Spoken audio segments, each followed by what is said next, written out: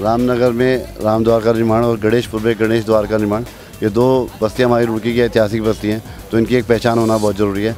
इस तरह के द्वार बनाने से जो है शहर को एक पहचान मिलती है और गणेश द्वार का आज उद्घाटन किया गया, होली मिलन समारोह का आज कार्यक्रम आयोजित किया गया, भंडारे का आयोजित किया गया और हमारे रुड़की के सभ्रांत नागरिकगण सभी इसको सराह रहे हैं और सभी चाहते हैं कि इस तरह शहर हमारा सुंदर हो, ग्रीन, क्लीन और स्मार्ट सिटी रुड़की बने और सबके मन में एक भावना होनी चाहिए कि मेरा शहर, मेरा गौरव माई सिटी माई प्राइड जब ये चीज़ सबके मन में आ जाएगी तो बहुत ही दूर नहीं, जब उनकी शहर, हिंदुस्तान का नंबर एक शहर बनेगा। मैंने ये मूर्ति बैंगलोर में, कर्नाटक में पुट्टावर्ती में देखी थी। तब से मेरे मन में था कि इतनी सुंदर प्रतिमा गणेश जी की है, ये हमारे शहर में भी होनी चाहिए। ये तीन साल पुरानी बात है।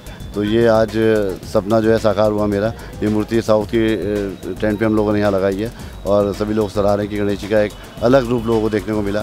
गणेश जी गणेश द्वार पर और एक भव्य मूर्ति जो है, जो लोगों को इसकी देखने को मिली। ये साउथ से भी डिज़ाइन कराई है? और साउथ से डिज़ाइन होकर आई है।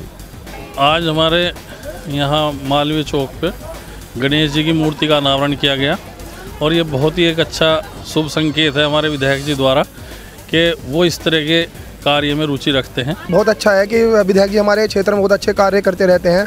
मैं चाहूँगा आगे भी ये कार्य करते रहें और सभी क्षेत्रवासियों को होली की बहुत बहुत शुभकामनाएँ। ये वार्ड वार्ड नंबर पंद्रह में ही हमारे ये भव्य मूर्ति लगाई गई है। और ये भव्य मूर्ति ये हमारा जो स्टेशन है ये वाला इसमें रुड़की के सभी व्यक्ति यहाँ से गुजर के जाते हैं। तो ये जो भी व्यक्ति यहाँ से गुजर के जाएगा सर्वप्रथम गणेश जी का आशीर्वाद मिलेगा तब वो अपने मार्ग में पहुँचे। और आज यहाँ पर एक ये कार्यक्रम हुआ है होली होली मिलन का। जिसमें यहाँ एक ये गणेश द्वार का भी उद्घाटन हुआ है बत्रा जी के द्वारा किया गया है। और यहाँ पे सभी बीजेपी के कार्यकर्ता भी थे और अदर कार्यकर्ता भी थे जिसमें बहुत अच्छा माहौल रहा है। और ये महिला मोर्चा। हमारा पूरा आया हुआ है आज यहाँ पर। और इसमें फूलों की होली खेली गई है और हमारी सारी बहनें अच्छे अच्छे से सुंदर सुंदर यूनिफॉर्म पहन के आई हैं अपना होली के जैसे होता है। वैसे भी हमारी बहनें बहुत अच्छी हैं। तो इसी के होली का ही कार्यक्रम था और ये बहुत अच्छा रहा आज का कार्यक्रम।